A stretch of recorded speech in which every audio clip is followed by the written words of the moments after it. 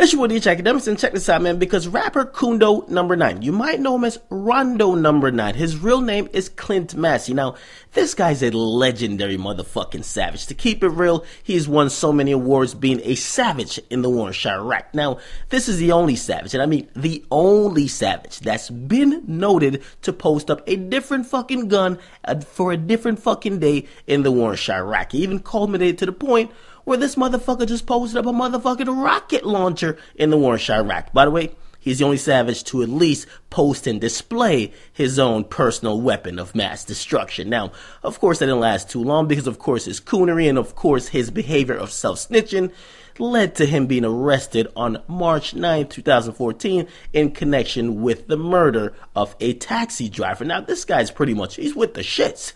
Now, Finally, we get an update on him because he's been incarcerated for almost a year and he was a juvenile when he was incarcerated. He was 17, but of course his birthday just passed and that's actually his birthday was on, February 18th and finally he get to go amongst the other savages at the summer jam. We all know what that is, Cook County Jail. He was being held in a juvenile facility. He's now officially transferred to Cook County Jail. Now, check this out because his bail is 2 million. And of course we all know about we should be all familiar with the free the guys campaign. Now lil durk has vowed if it's the last thing he does he will get rondo number 9 out of jail because he got to get them guys home now, of course, that's been definitely unsuccessful. Now, there's not even been bail packages made. However, the savage line to refer to is that he'll be home soon. Now, he'll be home next Christmas. That's the next hope. But um, check this out, man. Now, his next court date, if you're wondering, right? Because he's going through a murder case, and he'll actually is it kind of started already, but his next court date is March 13. Now, as I told you before, remember all that time about uh, he beat the case? No, motherfucker. Nobody beat the case. But finally, this is the important thing because we actually, and I've received the official docket on Kundo number nine that I could tell you how much really with the shits this guy was. Now, I was actually surprised to find out that he's only five seven, a buck 55, which I'm like, what the fuck? How could you be told that motherfucking rocket launcher doing 40 yard dashes in 4.2 seconds when you're a buck 55 and a goddamn rocket launcher might be a buck 65? But listen, man, I'm gonna tell you this, man. The only way I'll put some money on this guy's books to get him out is if he's going to bring that savage fight to ISIS. This motherfucker's toting a rocket launcher. We need to get him overseas in Syria. Now, Listen, man, the, the, savage stat sheet for this guy, eh, this motherfucker is actually well decorated. Now, if you've been wondering, right, how long he's been really with it, check out these stats on motherfucking Kundo number nine. Now, it says here, and I'm not making this up, I couldn't. Believe me, I couldn't.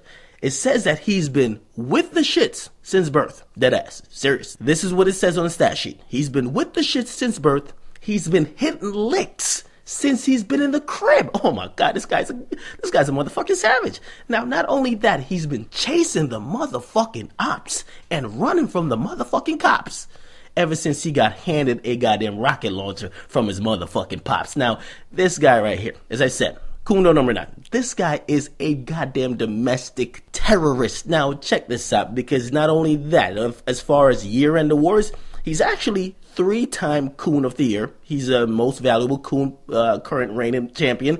He's also first ballot Hall of Coon, and um, he's a seven-time. Goddamn, this thing is kind of nice.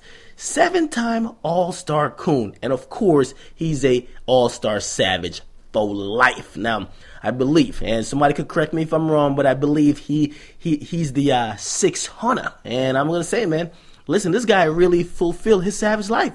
We might actually got to raise his motherfucking number nine jersey into the rafters. I'm really hoping it was really worth it though, because um, the good thing about him being 18 is that listen, we could get more updates about him and his real where- whereabouts and how he's going through the legal system. Which, if he's innocent, we hope he gets out of it. If he's innocent, however, I do want one thing. I do want one thing. Seriously, one thing, because even if he's innocent or guilty, because despite common misconception, I have nothing against this kid. Believe me, I have nothing against him. How it's really quite the opposite. I'm a, I'm a law-abiding citizen, and when I see a coon on the internet toting a goddamn rocket launcher, I need to find out that that Negro could get apprehended, he could get cavity searched, and he could get waterboarded until we find where the fuck that motherfucking rocket launcher came from. Because we got motherfucking ISIS. They're overseas doing demonic shit, and if we got a local coon running around like a crazed Negro on steroids, following out and carrying out kill scripts, right?